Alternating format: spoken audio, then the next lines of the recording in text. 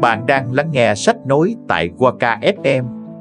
Sau đây là phiên bản tóm tắt của cuốn sách Nỗi lòng, tác giả Natsu Mesoseki, dịch giả Đỗ Khánh Hoàng và Nguyễn Tường Minh.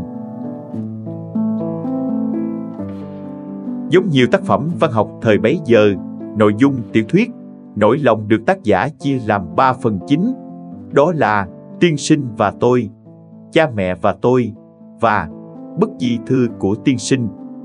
Trong đó, hai phần đầu tiên được kể theo ngôi thứ nhất về cuộc sống khi còn trẻ của nhân vật tôi cùng mối quan hệ của anh với tiên sinh. Trước khi tiết lộ câu chuyện đời đầy khổ đau của nhân vật tiên sinh, được trần thuật lại trong bức di thư của ông. Câu chuyện trong nỗi lòng xảy ra trong bối cảnh đầu thế kỷ 20 tại Nhật Bản, khi xã hội nước này vẫn còn đang trải qua nhiều biến động, gây ra bởi cải cách KNH Tân của Thiên Hoàng Minh Trị. Nhân vật tôi, một chàng sinh viên trẻ, trong quá trình lên thủ đô Tokyo học đại học, đã gặp và bắt đầu quen biết với tiên sinh, một người đàn ông trung niên sống khép kín và xa cách với xã hội, hầu như chỉ nói chuyện với vợ của mình. Vì lý do nào đó, nhân vật tôi cảm thấy bị thu hút bởi tiên sinh. Do vậy đã thường xuyên tới thăm người đàn ông trung niên tại căn nhà nhỏ, nơi ông sống cùng vợ. Ngược lại, mặc dù tiên sinh đã chia sẻ với nhân vật tôi nhiều bài học cuộc sống đầy sâu sắc, thế nhưng người đàn ông trung niên vẫn duy trì thái độ xa cách nhất định và không muốn tiết lộ về quá khứ bản thân. Đồng thời, hàng tuần tiên sinh đều đến thăm mộ một người bạn. Những điều này là làm khơi dậy sự tò mò trong lòng nhân vật tôi và tiên sinh hứa sẽ kể lại toàn bộ câu chuyện đời mình cho nhân vật tôi vào một thời điểm thích hợp. Sau khi tốt nghiệp đại học, nhân vật tôi trở về quê hương để chăm sóc cho người cha già bệnh tật. Trong thời gian này, nhân vật tôi bắt đầu nhận ra sự xung đột sâu sắc về tư tưởng giữa bản thân và cha mẹ. Sự xung đột giữa một nhà trí thức trẻ đã quen với cuộc sống Tây hóa nơi thành thị và những con người nơi thôn quê vẫn giữ lấy tư tưởng truyền thống trước KNH Tân. Nhân vật tôi cảm thấy u uất và cô đơn, khao khát thành phố. Đồng thời, tin tức về việc Thiên Hoàng Minh Trị lâm bệnh và qua đời cũng dường như khiến cho bệnh tình của người cha nhân vật tôi ngày càng trở nặng. Giữa lúc này, nhân vật tôi bỗng nhận được một phong thư rất dài từ tiên sinh, với những dòng cuối cùng đề cập đến việc khi nhân vật tôi đọc được bức thư này, thì có lẽ tiên sinh đã không còn trên đời nữa. Nhận ra hàm nghĩa trong những dòng thư đó, nhân vật tôi bèn tức tốc lên tàu trở về Tokyo, ngay khi người cha già đang trong cơn nguy kịch. Trên tàu, nhân vật tôi bắt đầu đọc bức thư, đồng thời cũng là di thư mà tiên sinh để lại, nhằm giải bày nỗi lòng mình với người duy nhất mà ông tin tưởng, bên cạnh chính vợ của mình. Trong bức di thư, tiên sinh hé lộ rằng sau khi cha mẹ mình đồng thời qua đời vì mắc chứng thương hàn khi ông mới chỉ 19 tuổi, ông đã tin tưởng trao quyền quản lý khối tài sản thừa kế mà mình nhận được cho người chú ruột, trong khi bản thân rời quê lên Tokyo học đại học. Mối quan hệ giữa tiên sinh và gia đình người chú ruột ban đầu rất hòa hợp, nhưng mọi chuyện dần trở nên xấu đi sau khi tiên sinh từ chối cưới con gái của chú ruột. Phát hiện ra người chú ruột đã lợi dụng sự tin tưởng của bản thân, Hồng chiếm đoạt đi phần lớn khối tài sản thừa kế. Tiên sinh trở nên chán đời và mất đi niềm tin đối với con người. Mang theo phần còn lại của khối tài sản thừa kế, tiên sinh chuyển đến sống tại một khu nhà trọ nơi chủ trọ là một quá phụ sống cùng con gái và người giúp việc. Trong quá trình sống tại đây, thông qua tiếp xúc với bà chủ và tiểu thư của khu nhà trọ, tiên sinh đã dần thoát khỏi tâm trạng u uất và ngờ vực con người của bản thân. Đồng thời, ông cũng dần đem lòng yêu tiểu thư, nhưng lại không dám mở lời cầu hôn, vì vẫn băn khoăn về việc liệu có phải bản thân đang bị bà chủ ngầm chi phối hay không, điều mà người chú ruột của ông đã từng làm trong lúc nội tâm vẫn luôn giằng xé giữa tình yêu chân thành và mối ngờ vực vô căn cứ, tiên sinh ngày càng trở nên gần gũi hơn với tiểu thư. Bước ngoặt trong cuộc đời của tiên sinh xảy ra khi ông thuyết phục bà chủ đệ ca. Một người bạn đại học của mình cũng chuyển đến sống tại khu nhà trọ. Theo tiên sinh, hai người đã quen biết nhau từ khi còn nhỏ và ca là một chàng trai với tính cách ngay thẳng theo cách tương đối lập dị.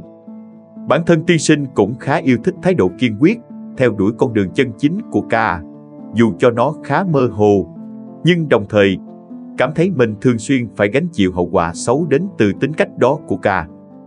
Tiêu biểu nhất cho điều này là việc ca đã lừa dối gia đình về kế hoạch học tập của bản thân. Bởi vậy khi sự thật bị phơi bày thì ca đã nhận sự khiển trách nghiêm khắc và mất đi hỗ trợ tài chính từ gia đình. Buộc phải tự trang trải học phí, ca làm việc chăm chỉ hơn bao giờ hết và dường như thích thú với sự khổ hạnh này, khiến cho tiên sinh cảm thấy lo lắng cho tình trạng thần kinh của bạn mình.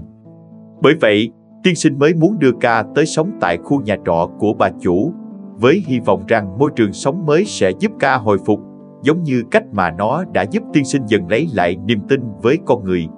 Để giúp cải thiện tình trạng tâm lý của người bạn thân, tiên sinh cũng khuyến khích ca nói chuyện với bà chủ và tiểu thư.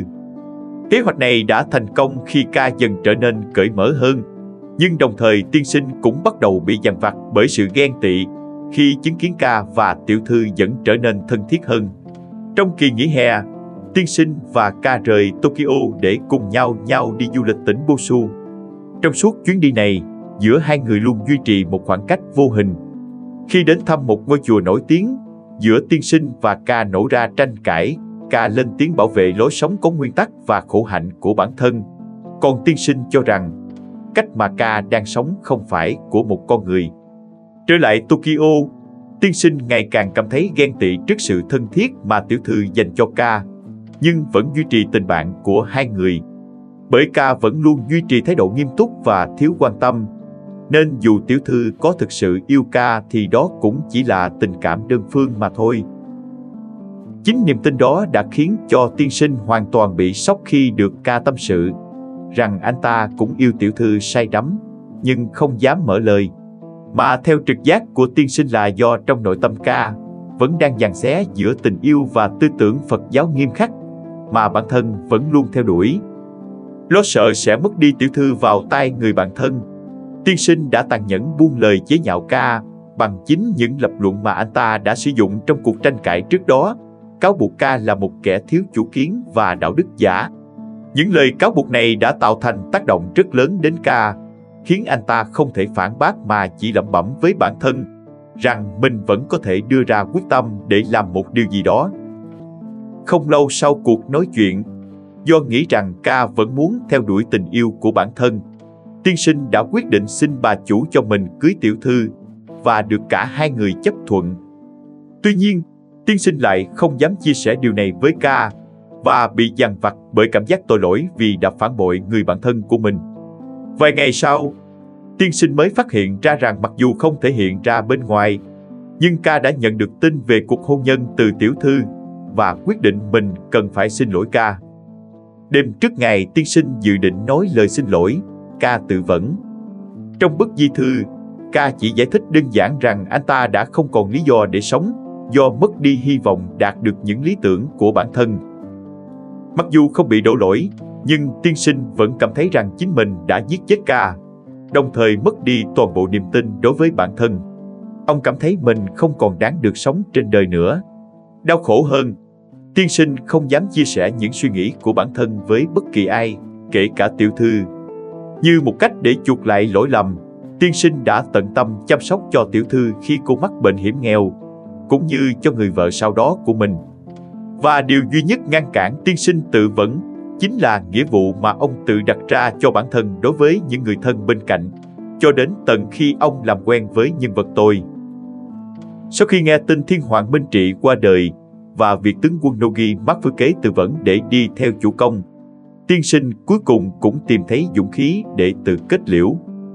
Sau nhiều năm, ông dần nhận ra rằng có lẽ nguyên nhân khiến ca tự vẫn thực sự không phải vì đau khổ trước hôn ước của tiểu thư hay những xung đột trong tư tưởng của bản thân, mà chỉ đơn giản là nhằm giải thoát chính mình khỏi nỗi cô đơn cùng cực giữa cõi nhân sinh này, thứ cảm giác vẫn luôn tồn tại trong chính bản thân ông, nhưng lại chẳng thể chia sẻ cùng ai.